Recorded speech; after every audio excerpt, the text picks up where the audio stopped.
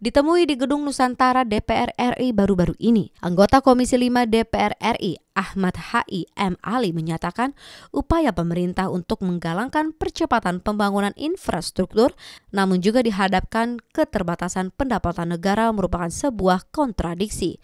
Ali berharap pemerintah lebih selektif dalam melakukan pemotongan anggaran, terutama pada proyek-proyek yang dianggap penting seperti infrastruktur. Pemerintah diharap tak langsung mengambil tindakan yang dianggap kurang bijak seperti pemotongan anggaran ini sebagai jalan keluar. Kiranya yang hal-hal yang kemudian uh, urgent untuk pembangunan infrastruktur, percepatan pembangunan. Ini jangan dilakukan pemotongan, tapi kalau kita bilang pemotongan adalah di wilayah-wilayah operasional.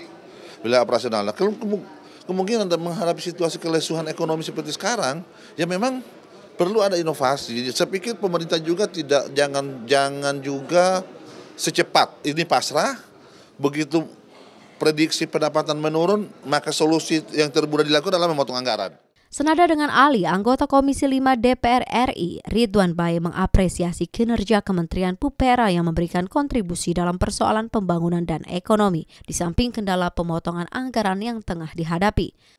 PUPera itu tidak hanya memberi kontribusi dalam persoalan pembangunan, tetapi dia juga memberi kontribusi terhadap persoalan ekonomi masyarakat.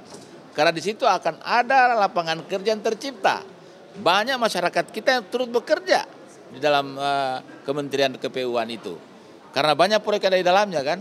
Jadi oleh karena itu bahwa kalau daya serapnya besar, yang menurut kita adalah perlu mendapat dukungan. Kita berharap bahwa infrastruktur ini setiap tahun dia berjalan maksimal. Siva dan Aang TVR Parlemen melaporkan.